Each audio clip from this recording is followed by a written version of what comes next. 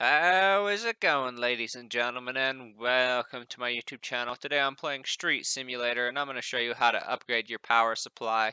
For, so, for those of you that don't know, whenever you add buildings on your street in this game, you use up power. So as you can see, I am only using 300 power, and I actually have 500 power. But I'm going to go ahead and upgrade my power just for you guys, just for that awesome content for you.